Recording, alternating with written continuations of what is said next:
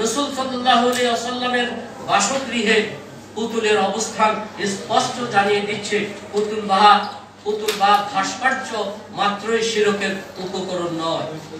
আসসালামু আলাইকুম রহমতুল্লাহি ওবরাকাত আলহামদুলিল্লাহ ওয়াহদা ওসলাত ওসালাম আলা মাল্লা নবী আবাদ আহম্মাবাদ সুপ্রিয় দর্শক, শ্রোতা ভাই বোন মূর্তি এবং ভাস্কর্য, এ দুটো এক নাকি ভিন্ন জিনিস। ইসলামী শরিয়ার দৃষ্টিতে মূর্তি স্থাপন আর ভাস্কর্য স্থাপনের মধ্যে বিধানগত কোনো পার্থক্য আছে কি নেই? সম্প্রতি ভাস্কর্য স্থাপনকে ঘিরে আমাদের দেশে অনেকগুলো প্রশ্নের জন্ম নিয়েছে। সে প্রশ্নগুলোর উত্তর আমরা আগে জানব। এরপরে ভাস্কর্য স্থাপন বিষয় ইসলামী শরিয়াতে কী বলা আছে কোন হাদিসে কী বলা আছে, সে বিষয়টি জানার চেষ্টা করব ইনশাআল্লাহ তাহলা প্রিয় দর্শক, আমাদের দেশের এক শ্রেণির মানুষ দাবি করছেন যে মূর্তি বলা হয় যা পুজো অর্চনা তথা উপাসনার উদ্দেশ্যে নির্মাণ করা হয়েছে, স্থাপন করা হয়েছে সেটিকে। আর যা পুজোর উদ্দেশ্যে স্থাপিত হয়নি, বরং নিছক সৌন্দর্য এবং নান্দনিকতার জন্য স্থাপিত হয়েছে তা হলো ভাস্কর্য। এ শ্রেণির লোকদের দাবি হলো, অতএব মুসলমানদের জন্য কোনো মূর্তি স্থাপন করা এটা জায়েজ নেই, যেহেতু সেটি শিল্পের উদ্দেশ্যে স্থাপিত হয়েছে। কিন্তু ভাস্কর্য স্থাপন করা জায়েজ, যেহেতু সেটি শিল্পের উদ্দেশ্যে নির্মিত বা স্থাপিত হয়নি। এই যে মূর্তি এবং ভাস্কর্যের মধ্যে সংজ্ঞাগত একটি পার্থক্য দেখানো হলো এই পার্থক্য তারা কোথায় পেয়েছেন তারাই ভালো বলতে পারেন। তবে বাংলা একাডেমির অভিধান বলছে, ভাস্কর্য বলা হয়, কোনো প্রস্তর তথা পাথর খোদাই করে যদি কোনো আকৃতি বা মূর্তি বা কোনো কিছু নির্মাণ করা হয় সেটিকে। আর মূর্তি, এটি হিন্দু ধর্মে যদিও প্রতিমাকে বোঝানো হয়, কিন্তু সাধারণ অর্থে মূর্তি বলতে কোনো অবয়ব বা আকৃতি তৈরি করাকে মূর্তি বলা হয়। তাহলে আমরা এটুকু বুঝলাম যে মূর্তি হলো যে কোনোভাবে নির্মিত কোনো মানুষ বা কোনো প্রাণীর আকৃতি বা অবয়ব আর ভাস্কর্য হলো পাথর, ওয়াল কিংবা কোনো পাহাড় খোদাই করে যা নির্মাণ করা হয় সেটি। তাহলে যে ভাস্কর্যের মধ্যে কোনো প্রাণীর ছবি, কোনো মানুষের ছবি বোঝা যায় পরিষ্কারভাবে, সেটি ভাস্কর্য এবং একই সঙ্গে মূর্তিও, যেহেতু সেখানে আকৃতি এবং অবয়ব পরিষ্কারভাবে বোঝা যাচ্ছে। আমরা সবাই কম বেশ জেনে থাকব যে মূর্তিকে ইংরেজিতে বলা হয় স্ট্যাচু আর ভাস্কর্যকে ইংরেজিতে বলা হয় স্কাল্পচার। সারা বিশ্বের সবচেয়ে নামকরা মূর্তিগুলোর একটি হলো স্ট্যাচু অফ লিবার্টি যেটি আমেরিকাতে রয়েছে। আমরা জানি যে সেই স্ট্যাচু যেটা স্ট্যাচু যার অর্থ হলো মূর্তি, সেখানে কেউ পুজো করতে যায় না, উপাসনা করতে যায় না, অর্চনা করতে যায় না। সেটা নিছক সৌন্দর্য এবং নান্দনিকতার জন্যই তৈরি করা হয়েছে। তারপরেও কিন্তু সেটাকে স্ট্যাচু অফ লিবার্টি অর্থাৎ মূর্তি বলা হচ্ছে, সেটা কিন্তু স্কাল্পচার বলা হচ্ছে না। তার মানে বোঝা গেল যে ভাস্কর্য হলে সেটি আর মূর্তি নয় এমনটি সঠিক নয়। যদি তাই হতো, তাহলে এটাকে স্ট্যাচু বলা, স্ট্যাচু অফ লিবার্টি বলা সঠিক হতো না। যারা বাংলাদেশে বিভিন্ন জায়গায় ভাস্কর্য স্থাপন করার সপক্ষে, তাদের একটা যুক্তি হলো যে, ভাস্কর্য স্থাপন না হলে আমাদের মধ্যে চেতনা কীভাবে সঞ্চারিত হবে? কীভাবে আমরা মুক্তিযুদ্ধের চেতনাকে ধারণ করব। তাদের কাছে আমরা বিনীতভাবে প্রশ্ন রাখতে চাই। সারা বিশ্বে যে মানুষটির আদর্শ সবচেয়েতে বেশি পরিমাণে চর্চা হয়ে থাকে, যার চেতনাকে সবচেয়ে বেশি সংখ্যক মানুষ সবচেয়ে শক্তিশালী এবং বলিষ্ঠভাবে ধারণ করে এখনও রেখে আছে, যুগ যুগ ধরে, শতাব্দীকে শতাব্দী ধরে রেখে আছে, তিনি হলেন মোহাম্মদ রসোল্লাহ সাল্লাহ আলি ওয়াসাল্লাম। পৃথিবীতে মুসলিমরা তার কয়েকটি স্ট্যাচু বা মূর্তি নির্মাণ করেছে, ভাস্কর্য নির্মাণ করেছে? প্রিয় দর্শক, এখান থেকে পরিষ্কারভাবে বোঝা গেল যে কোনো চেতনাকে ধারণ করবার জন্য সেই চেতনা সংশ্লিষ্ট ভাস্কর্য তৈরি করতে হবে, নির্মাণ করতে হবে। এই যুক্তি একেবারেই খোঁড়া যুক্তি। বরং বহু ভাস্কর্য পৃথিবীতে এখনও আছে, যে ভাস্কর্যগুলো যাদের রয়েছে তাদের সম্পর্কে মানুষ জানেও না, চেতনা ধারণ করা তো অনেক পরের কথা। যারা ভাস্কর্যকে বাংলাদেশের আনাচে কানাচে ছড়িয়ে দিতে চান, স্থাপন করতে চান, তাদের আরেকটি যুক্তি হলো যে, অনেক মুসলিম দেশেও তো ভাস্কর্য রয়েছে। কই? তাদের তো কোনো সমস্যা হচ্ছে না। ইন্দোনেশিয়া মুসলিম দেশ, সেখানে অনেক ভাস্কর্য রয়েছে। তাহলে আমাদের দেশে সে ভাস্কর্য থাকলে সমস্যা কোথায়? হুজুররা কেন বাধা দিবেন? এর উত্তর হলো যে, ইন্দোনেশিয়াতে কোনো কোনো রাজ্যে ইসলামী শরিয়া পর্যন্ত চালু আছে। আপনি কি সেটিকে বাংলাদেশে আমদানি করার, সেটাকে বাংলাদেশে চালু করার সপক্ষে অবস্থান নেবেন? নিশ্চয়ই নেবেন না। তাহলে যে সমস্ত তথাকথিত প্রগতিশীল বন্ধুরা, যারা মুসলিম দেশগুলোর কোনো বাজে দৃষ্টান্ত থাকলে সেটিকে আমাদের দেশে আমদানি করার কথা বলে, সে দেশগুলোর কোনো ভালো দৃষ্টান্ত থাকলে সেটিকে আমদানি করার কথা তো কখনো বলেন না। এখান থেকে বোঝা গেল তারা সুস্পষ্টভাবে সুবিধাবাদিতার অবস্থানে রয়েছেন, স্বার্থপরতার অবস্থান রয়েছেন। তাদের আরেকটি দাবি হলো যে এটি এক প্রকারের শিল্প ভাস্কর্য এক প্রকারের শিল্প অতএব এই শিল্প আমাদেরকে ধরে রাখতে হবে। শিল্পের বিরোধিতা করতে পারে মূর্খ মানুষেরা শুধুমাত্র প্রিয় দর্শক আমরা এ ব্যাপারেও তাদের কাছে বিনীতভাবে প্রশ্ন করতে চাই যে যে কোনো কিছু শিল্প হলেই সেটি আমাদের ধারণ করতে হবে। পৃথিবীতে বহু প্রকারের শিল্প আছে অনেক সমাজে অনেক রকমের শিল্প আছে। সব শিল্পকে আমরা আমাদের আমদানি করব। যেমন পাপুয়া নিউগিনি লোকদের শরীরে তাদের দেহে অবয়বে তাদের উম, জীবনাচারে তাদের সংস্কৃতিতে অনেক প্রকার শিল্প আমরা দেখতে পাই। যা দেখে আমাদের দেশের মানুষ অনেক সময় হেসে দেয়, কারণ সেগুলো আমাদের সমাজে নেই। সেই শিল্প নিশ্চয়ই আমরা কেউ আমদানি করব না। যারা আজ ভাস্কর্যের শিল্পকে বাংলাদেশে ছড়িয়ে দিতে চান, তারা তাদের পরিবারের সদস্যদের মধ্যে পাপুয়া গিনি- নিউগিনির লোকদের শিল্পকে নিশ্চয়ই ধারণ করার কথা বলবেন না। আমেরিকাতে নারী পুরুষরা মানুষের সম্মুখে উলঙ্গ হয়ে যাওয়া, বিবস্ত্র হয়ে যাওয়াটাকে অনেক সময় এরা শিল্প হিসাবে মনে করে। সেই সাথে আপনার দেখা যায় যে কোনো মানুষের গালে ফুটো করে সেখানে লোহা বা কোনো ধাতব কোনো কিছু ঢুকিয়ে দেওয়া হয় থুতনিতে কোনো প্রকার রিং ইত্যাদি স্থাপন করা হয়, নাকের এক পাশ দিয়ে প্রবেশ করি, অপর পাশ দিয়ে বের করে কোনো পাত ইত্যাদি রেখে দেওয়া হয়। এটা এক প্রকার শিল্প। এই শিল্পকেই তিনি নিজের জন্য, নিজের পরিবারের লোকদের জন্য গ্রহণ করবেন। তাহলে বোঝা গেল, যে শিল্প আমার বিশ্বাসের সঙ্গে যায় না, আমার সংস্কৃতির সঙ্গে যায় না সেই শিল্প আমাকে আমদানি করতে হবে, এটি মোটেও সঠিক কথা। নয়, এদেশের লক্ষ লক্ষ কোটি কোটি মানুষ, বরং বেশিরভাগ মানুষ ভাস্কর্য শিল্পকে আমদানি করার জন্য আমাদেরকে বলেনি, বরং এটি আমাদের বিশ্বাসের সঙ্গে যায় না। যার কারণে কোনো কিছু শিল্প হলেই সেটি আমদানি করতে হবে, তা মোটেও সঠিক নয়। যারা ভাস্কর্য নির্মাণ এবং স্থাপনকে জায়েজ মনে করেন, তারা কোন হাদিস থেকে কিছু উদ্ধৃতি পেশ করে থাকেন। তোর মধ্যে থেকে একটি হলো আয়সা রদুল্লাহ তালাহার ঘটনা। আমরা জানি সৈব বর্ণিত হয়েছে আয়সা রদুল্লাহ তালাহা তিনি ছোট ছিলেন, তার বাসায় খেলনার পুতুল ছিল, তিনি তার বান্ধবীদের সাথে সেই পুতুল দিয়ে খেলা করতেন। প্রিয় নবী সাল্লাহ সাল্লাম সেটিকে অনুমোদন করেছেন, কখনো তিনি বাধা দেননি। তাদের দাবি হলো, নবী সাল্লাহ সাল্লামের বাসায় যদি পুতুল থাকতে পারে, তাহলে সে পুতুলেরই বড় আকৃতির পুতুল, সেটি বাহিরে থাকতে অসুবিধা কোথায়? এর উত্তর হলো, ছোট বাচ্চাদের জন্য খেলনা হিসাবে পুতুল রাখা জায়েজ। হাফেজ ইবনে হাজার, আসকান রহমাউল্লাহ যিনি সৈবুখারের সবচেয়ে বড় ব্যাখ্যাতা এবং সবচেয়ে বড় ব্যাখ্যা গ্রন্থ ফাতুল বাড়ির রচয়িতা, তিনি সেখানে লিখেছেন এ হাদিসের ব্যাখ্যায় যে এখানে উদ্দেশ্য হলো বাচ্চা হিসাবে আমাদের আশরাদ আল্লাহ তালহা শিশু হিসাবে আমাদের আশরাদ আল্লাহ তালহা এটা দিয়ে খেলা করেছেন তার জন্য জায়েজ রয়েছে। কিন্তু বড়দের জন্য এটিকে স্থাপন করা, সম্মান করা বা সম্মানজনকভাবে এটিকে প্রদর্শন করা জায়েজ নয়।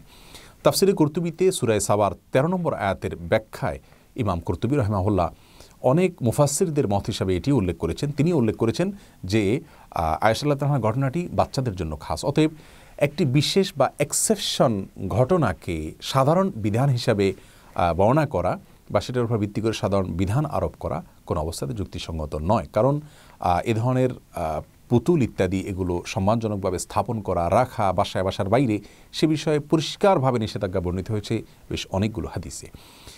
সেই সাথে আরেকটি দলিল তারা পেশ করে থাকেন তা হলো সিরাতে ইবনে হিসাবে নাকি উল্লেখ রয়েছে যে আমাদের প্রিয় নবী সাল্লা সাল্লাম মক্কা বিজয়ের পর কাবায় অবস্থিত তিনশত ষাটটি মূর্তি অপসারণের নির্দেশ দিলেও সেখানে মারিয়াম আলি সালামের একটি ছবি বা আকৃতি ছিল, অবয়ব ছিল, সেটাকে তিনি সরাতে নাকি নিষেধ করেছেন। এ বর্ণা সম্পর্কে সুস্পষ্ট বক্তব্য হলো যে, এ বর্ণনা সম্পূর্ণ ভিত্তিহীন এবং বানোয়াট। ইবনে হিসামের মূল গ্রন্থে এটি নেই। কোনো একজন ইংরেজি অনুবাদক এটিকে প্রবেশ করিয়ে দিয়েছেন। যে বর্ণনা থেকে এটি পাওয়া যায় সেই বর্ণনার যে সূত্র, চেইন, সেটি গবেষণা করে ওলামা একরাম বলেছেন সেটি সম্পূর্ণ বানোয়াট এবং ভিত্তিহীন। আমরা জানি, ইসলামী শরীয়তের গুরুত্বপূর্ণ কোনো বিষয় প্রমাণ হওয়ার জন্য কোরআনে করিম এবং রসুল করিম সাল্লাহ সাল্লাম থেকে বর্ণিত বিশুদ্ধ সূত্রে হাদিসের প্রয়োজন, যা এখানে বিদ্যমান নয়। তৃতীয়ত আরেকটি দলিল উল্লেখ করা হয় যে কোরআন করিমের সুরায় সাবাদ তেরো নম্বর আয়াত আল্লাহ বলে এরশাদ করেছেন ইয়া আমালুন আলাহ মায়াশা ও মিম্মা হারিব ওয়া তামাথিল ও জেফান ইনকাল জবাব কদুরের রাসিয়াত। অর্থাৎ সোলামান আলাইসালামের অনেকগুলো জিন ছিল, যে জিনরা তার চাওয়া অনুযায়ী, নির্দেশ অনুযায়ী তার জন্য অনেক কিছু নির্মাণ করতো। তোর মধ্যে থেকে একটা ছিল তামাসিল। তামাসিল মানে হলো সুরত বা আকৃতি, অবয়ব, এটা নির্মাণ করত। এর দ্বারা তারা বোঝাতে চান যে সোলামান আলাইসালাম একজন নবী হয়ে তিনি যদি জিনদেরকে দিয়ে আকৃতি, অবয়ব তথা ভাস্কর্য নির্মাণ করতে পারেন, তাহলে আমাদের করতে বাধা কোথায়? এর তিনটি উত্তর রয়েছে। সর্বপ্রথম উত্তর হলো যে, আমরা জানি অন্য নবীদের শরীয়ত আর আমাদের প্রিয় নবী সাল্লাহ আসলামের শরীয়ত এক নয়। পূর্বের যুগের নবীদের শরীয়তে অনেক কিছু জায়েজ ছিল যা আমাদের জন্য জায়েজ নয়। সোলামান আলাহিসাল্লামের শরীয়ত হয়তো এটি জায়েজ ছিল, কিন্তু আমাদের শরীয়তে সেটি জায়েজ নয়। যেমন তাফসিরের কুর্তুবিতে অনেক ফাসিরদের মত হিসাবে এটি উল্লেখ করা হয়েছে। সেই সাথে দ্বিতীয় কথা হলো যে অনেক মুফাসিরগণ বলেছেন, এটিও কর্তৃপীতে উল্লেখ হয়েছে, যে তামাসিল, অর্থাৎ এখানে যে বলা হয়েছে আকৃতির কথা বা তামাসিলের কথা ছবির কথা, সেই ছবিটা কোনো মানুষ বা প্রাণীর ছবি না হয়ে হয়তো কোনো অন্য কোনো বস্তুর ছবি ছিল, সেটাকে তামাসিল বলা হয়েছে। আবার অনেক মুফাসসিরগণ বলেছেন যে মূলত সেটি পিতল এবং কাঁসার অবয়ব ছিল, যেগুলো পূর্ণাঙ্গ রূপে কোনো প্রাণীর আকৃতি বোঝা যায় না। এই ধরনের আকৃতি রাখা যায়, হতে পারে। সবচেয়ে বড় কথা হলো প্রথম কথাই, অর্থাৎ সোলাম আলাইসালামের শরীয়তে কোনো কিছু থাকলেই সেটা আল্লাহ রব্বারকরণে উল্লেখ করলেই যে আমাদের জন্য অনুকরণীয় হবে তা নয়। বিশেষ করে তার বিরুদ্ধে যদি অনেকগুলো হাদিস সুস্পষ্টভাবে উল্লেখ থাকে। প্রিয় দর্শক, আমাদের সমাজের একটা অদ্ভুত চিত্র হলো, অনেক সময় দেখা যায় যে কোনো বিষয় নিয়ে যখন বিতর্ক হয়, তখন টেলিভিশন সেটের সামনে এমন কিছু লোক ওই বিষয়ের ইসলামের আলোকে ব্যাখ্যা নিয়ে হাজির হন, ফতোয়া নিয়ে হাজির হন যারা আসলে ইসলামী শিক্ষায় শিক্ষিত নন। ইসলামী শিক্ষার ব্যাকগ্রাউন্ডের লোক না হওয়ার সত্ত্বেও তারা ইসলামের আলোকে ওইটার বিশ্লেষণ করতে শুরু করে দেন। এটা সবচেয়ে হাস্যকর বিষয়। আবার এমন কিছু আলেমকেও দেখা যায় এই সমস্ত ব্যাখ্যার সপক্ষে দাঁড়াতে যারা সমাজের মানুষের কাছে, দেশের মানুষের কাছে আলেম হিসাবে উল্লেখযোগ্য বা পরিচিত কোনো ব্যক্তি নন। পৃথিবীর ইতিহাসে সর্বপ্রথম যারা শির্ক শুরু করেছে, যারা প্রতিমা পূজা শুরু করেছে, তারা ছিল নূর আলাইসালামের জাতি। আর এটা শুরু হয়েছে যেভাবে, তার ইতিহাসটা হলো নূ আলাইসাল্লামের অনুসারীরা তার উম্মদের মধ্য থেকে কিছু লোক, পাঁচজন তাদের পূর্বেকার নেককার মানুষের, ভালো মানুষের আকৃতি তারা আগে অঙ্কন করল বা মূর্তি নির্মাণ করল। তাদের উদ্দেশ্য ছিল যে, তাদেরকে দেখে আমরা অনুপ্রাণিত হব, আমাদের ভিতরে ভালো কাজ করার আগ্রহ জাগবে, যেহেতু তারা ভালো মানুষ ছিলেন। এটি দীর্ঘদিন পর্যন্ত সেভাবেই ছিল। এরপর একটা সময় তাদেরকে শ্রদ্ধা ভক্তি করতে করতে মানুষ তাদেরকে সেজদা করতে শুরু করল। আর এভাবে পৃথিবীতে প্রতিমার পূজা আরম্ভ হয়। প্রিয় দর্শক, আজও আমরা দেখি পৃথিবীতে অনেক ভাস্কর্য শুরু হয় প্রথমে সম্মানের জন্য, সৌন্দর্যের জন্য, চেতনা সঞ্চারিত করবার জন্য। এরপর সেখানে ফুল দেওয়া হয়। তারপর সেখানে নিরবতা পালন করা হয়। একটা সময় হয়তো সেখানে মাথা অবনত করে মানুষ সেজদা করবে। ইসলাম শরীয়তের গুরুত্বপূর্ণ একটা মূলনীতি হলো সাদ্দুজ্জরায়। অর্থাৎ কোনো অপরাধের দুয়ার উন্মোচিত হতে পারে। এরকম পথ বন্ধ করে দিতে হয়। এটা হলো ইসলামের শরীয়তের পরিষ্কার নির্দেশনা। রসুল করিম সাল্লাহ সাল্লামের অনেকগুলো হাদিস আমরা এই ক্ষেত্রে পরিষ্কারভাবে পাই। তোমাদের থেকে একটি হাদিস সহি মুসলিমে বর্ণিত হয়েছে যে, রসুল করিম সাল্লাহ সাল্লাম তার প্রিয় সাহাবি আলী রাদিল্লাহকে নির্দেশ করেছেন, তিনি যেন যত প্রকারের ছবি আছে, বিশেষ করে মানুষ এবং প্রাণীর এই ছবিগুলো যেন তিনি মুছে দেন এবং যে সমস্ত কবরগুলো উঁচু আছে, সেগুলোকে যেন তিনি সমান করে দেন মাটির সাথে, অর্থাৎ উঁচুগুলোকে যেন ভেঙে সমান করে দেন। এখানে কিন্তু কোনো ছবি যেটাকে মানুষ পুজো করে সেটাকে তিনি মুছতে নির্দেশ করেছেন এমন কোনো বর্ণনা নেই। বরং এই বর্ণনা ব্যাপকভাবে বোঝাচ্ছে যে সব ধরনের প্রাণীর ছবিকেই নবী সাল্লাহ সাল্লাম মুছে দেওয়ার নির্দেশ করেছেন। তেমনিভাবে আউদাউদে বর্ণিত একটি হাদিস রয়েছে যে একবার জিবরিল রসুল করিম সাল্লাহ সাল্লামের বাসায় এসে ফিরে গিয়েছেন। পরের দিন এসে বলেছেন, ইয়া রসুল্লাহ আপনার বাসায় আমি প্রবেশ করতে গিয়েও বাধাগ্রস্ত হয়েছি, প্রবেশ করতে পারিনি। তার কারণ হলো, আপনার বাসার সম্মুখে বা বাসায় যে পর্দা ছিল, সেখানে কোনো একটা প্রাণীর আকৃতি বা অবয়ব ছিল। তখন নবী আলাইসালাম সেই প্রাণীর অবয়বটাকে মুছে দিলেন বা মাথার অংশকে মুছে দিলেন, তারপর জিবরিল সেখানে প্রবেশ করলেন। এ হাদিস থেকে তো একেবারে পরিষ্কারভাবে বোঝা গেল যে যদি পুজো বা অর্চনার উদ্দেশ্যে না হয় শির করার উদ্দেশ্যেও যদি না হয়, তারপরেও সে প্রাণী থাকলে সেটি মুসলমানের জন্য জায়েজ নয়, রহমতের ফেরেস্তা সেখানে প্রবেশ করতে পারেন না। যদিও সেটি শির্ক নয়, কিন্তু গুনাহ অবশ্যই, হারাম অবশ্যই। এছাড়া বুখারি মুসলিম একযোগে বর্ণনা করেছে যে রসুল করিম সাল্লাহ সাল্লাম ইরশাদ করেছেন আসাদুন্নাসে আদাবান ইয়ামাল কেয়ামত আল মুসাবিরুন। কেয়ামতের দিন সবচাইতে কঠিন আজাব দেয়া হবে ওই সমস্ত লোকদেরকে যারা ছবি অঙ্কন করে, যারা ভাস্কর্য নির্মাণ করে, মূর্তি প্রস্তুত করে। বুখারি বর্ণায় আর্সে রসুল করিম সাল্লাহ সাল্লাম ইরশাদ করেছেন লাতাদ খুলুল মালা ইকাতু বাইতান ফিহি কালবুন আও সুরাতু তামাথিল অর্থাৎ ওই ঘরে আল্লাহ রহমতের ফেরেস্তা প্রবেশ করে না, যেই ঘরে কোনো কুকুর থাকে, পাহারার জন্য রাখলে সেটি জায়েজ আছে। এছাড়া যদি কোনো কুকুর থাকে অথবা কোনো ছবি বা ভাস্কর্য ইত্যাদি থাকে, শোপিস হিসাবে থাকুক বা কোনো বা অন্য কোনোভাবে থাকুক, সেটা থাকলে সে ঘরে রহমতের ফেরেস্তা প্রবেশ করে না। বাচ্চাদের খেলনা হিসাবে থাকলে সেটি অনেক ওলামায়কের মতেই জায়েজ রয়েছে। এছাড়া আরেকটি হাদিসে রসুল আকরম সাল্লাহ আসলাম ইরশাদ করেছেন, কোনো ব্যক্তি যদি কোনো ছবি বা কোনো মূর্তি তৈরি করে, কোনো ভাস্কর্য তৈরি করে, তাহলে কেয়ামতের দিন তাকে বলা হবে যে, তুমি তাতে রুহ ফুৎকার দাও। সে তো রুহ ফুৎকার দিতে পারবে না, তখন তাকে কঠোর শাস্তির মুখোমুখি হতে হবে।